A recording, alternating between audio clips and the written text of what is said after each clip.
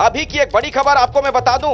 स्वामी प्रसाद मौर्य अपनी बेटी से ही नाराज़ हो गए हैं। जो बड़ी खबर आ रही है वो दर्शकों को मैं बता दूँ, स्वामी प्रसाद मौर्य की जो बेटी हैं संघमित्रा मौर्य, दरअसल उन्होंने जब वो मंच पर मौजूद थी तो टिकट कट जाने की वजह से रोने लग गई। उनके आँसू छूट गए और इसी को लेकर उनके पिता नाराज़ हो गए हैं, स्वामी प्रसाद मौर्य। क्या कह रहे हैं नाराज़ होकर सुनिए।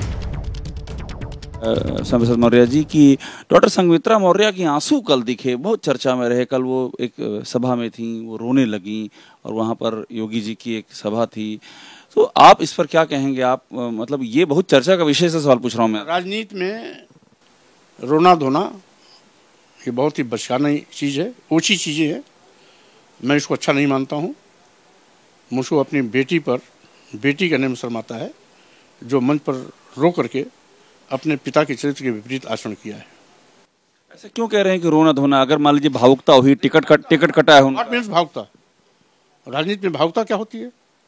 हम विचारों पर लड़ाई लड़ रहे हैं विचारों के साथ हम ताल ठोकते हैं विचारों के साथ उसको अपने पिता से सीखना चाहिए। मैंने विचारों के लिए हमेशा पद छोड़े हैं। कभी बीएसपी का राष्ट्रीय महासचिव का पद छोड़ा कभी नेता विरोधी दल का पद छोड़ा कभी मंत्री का पद छोड़ा कभी राष्ट्रीय महासचिव और एमएलसी का पद छोड़ा। क्या होता है? विचार के आगे क्या होता है? पद क्या पद माने रखता है? एमपी एमएलए तो कभी बना जा सकता है। विचार मतलब क्या आप अपनी पार्टी में इनवाइट कर रहे हैं कि अभी वो बीजेपी का हिस्सा है। इनवाइट नहीं कर रहे हैं। अब जो सांसद रह चुका है वो बहुत बच्चा नहीं है दूध बच्चा नहीं है। उसको खुद अपना विवेक होना चाहिए कि हमें क्या निर्णय लेना चाहिए।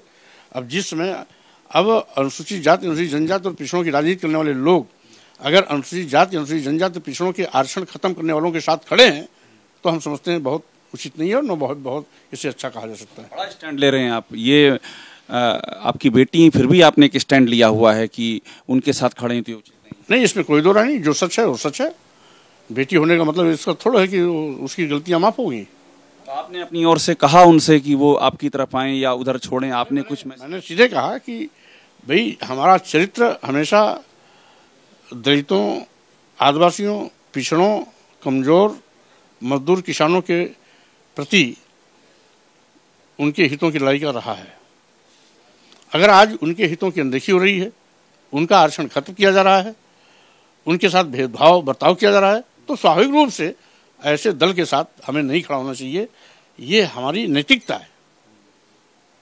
क्या उम्मीद कर सकते हैं आने वाले वक्त में कोई फैसला वो ले सकती हैं आपकी चूँकि बात क्या लेना है क्या नहीं लेना अभी चूँकि हाँ नहीं है इसलिए बिना वार्ता के मैं कुछ नहीं कह सकता हूँ। आपको दुख हुआ टिकट कटा उनका इस बात का? नहीं इस बात का कोई दुख इस बात का कोई मुझे कोई दुख नहीं है। टिकट तो कटना ही कटना था।